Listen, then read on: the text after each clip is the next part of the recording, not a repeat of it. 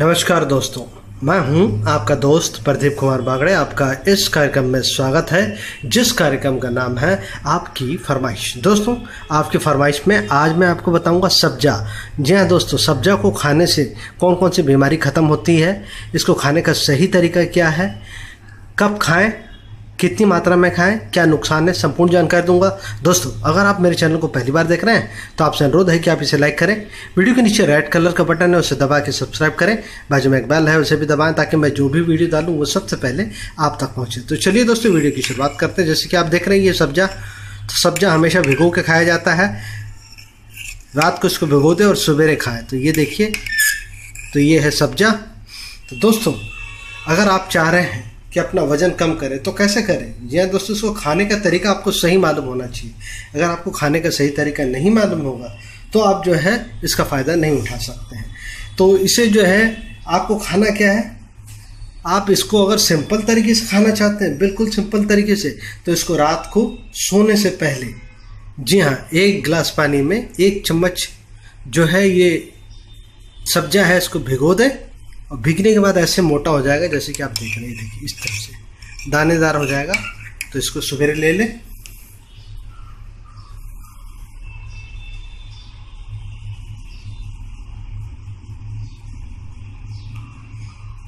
दोस्तों आजकल के डेट, इस समय जो है, लोग मोटापा, वज़न कम करने के लिए कईयों पैसे, कईयों रुपये खर्चा करते हैं, लेकिन वज़न कम नहीं होता। अब ये बिल्कुल आसान और घरेलू उपाय है।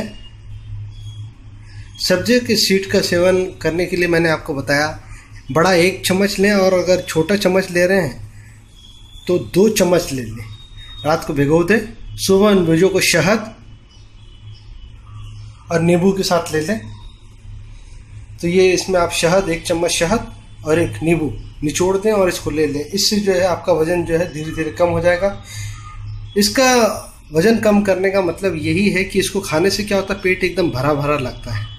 और इससे भूख नहीं लगती और जब आपको भूख नहीं लगेगी तो आपका धीरे धीरे वज़न जो है, वो अपने आप कम होने लगेगा। पीसीओडी की समस्या से अगर माताएँ बहनें जूझ रही हैं तो क्या करें? रात को एक चम्मच जो है, इस बीज को जो है सब्जे को जो है, भिगो दें पानी में और सुबह खाली पेट गुनगुने पानी के साथ ले सकते हैं आप। क्योंकि आपको करना क्या है, इस तरह से बीज वो करना और इसको जो है गुनगुना पानी के साथ लेना है आपको। इससे जो है आपकी अनियमित पीरियड की समस्या है वो दूर हो जाएगी। हार्मोन समस्याओं को कंट्रोल करने में मदद मिलती है। समझे सीड में प्रोटीन, मिनरल्स विटामिन और ओमेगा थ्री फैट एसिड मौजूद होता है, जिससे पीसीओडी के लक्षणों को दूर किया जा सकता है। अगर आप कब्जे से परेशान, कब्ज से परेशान है, जी हाँ दोस्तों, अगर आपका पेट खराब चल रहा है कब्ज रहता है। तो उसके लिए क्या करें? रात को सोने से पहले एक गिलास दूध में भिगोते हुए सब्ज़ी सीट का पेस्ट डालें और पिए। कब्ज की समस्या से राहत मिलेगी। अगर आपको दूध पीने से गैस होती है तो गुनगुने नींबू पानी के साथ भी सीट का सेवन कर सकते हैं। पाचन तंत्र के लिए सब्ज़ी के सीट का सेवन फ़ायदेमंद माना जाता है। अपच गैस, कब्ज, पेट के दर्द जो पेट में दर्द हो जाता है, वो इन समस्याओं से आपको निश्चित राहत मिलेगी।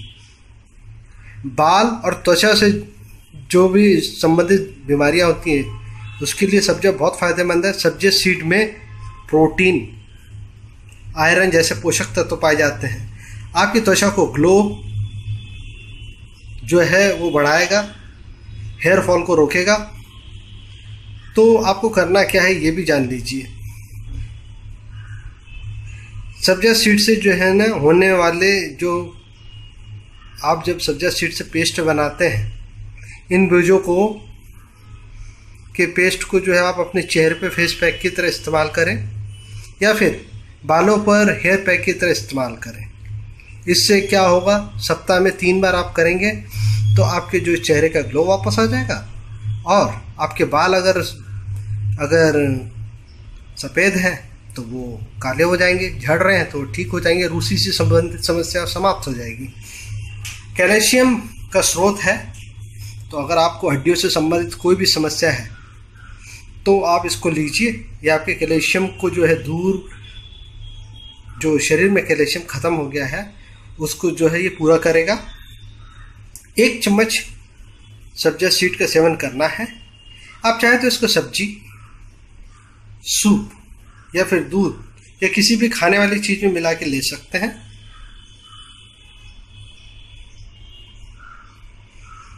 तो दोस्तों, कोई भी चीज़ अत्यधिक मात्रा में खाने से नुकसान होता है, ये भी मैं आपको बता दूँ। तो आप जो है इसका सेवन जो लगातार एक महीने कर सकते हैं। एक महीने के बाद आप कम से कम दस दिन का गैप दें और फिर उसके बाद लेने लगें। सिंपल तरीका ये है दोस्तों कि रात को जो है दो चम्मच आप जो है सब्ज़ी का जो बीज है जिसे हम तुलसी का बीज भी कहते हैं, इसको भिगा लें सादे पानी में और सवेरे ले लें। यह है, अगर आप चेहरे और बाल के लिए सोच रहे हैं तो इसको जो है, भिगा लें, पहले इसका पेस्ट बना लें, सब्जे के बीज का, और फिर उसको जो है पानी में भिगो दें। उसके बाद उसे चेहरे पे और अपने बालों में लगाएँ तो इससे आपको निश्चित लाभ मिलेगा। उम्मीद करता हूँ मैंने आपको जो जानकारी दी है, वो आपको ज़रूर अच्छी लगी होगी। तो इसी के साथ अपने दोस्त प्रदीप कुमार बागड़े को इस कार्यक्रम से जाने की इजाज़त दीजिए। नमस्कार, जय हिंद।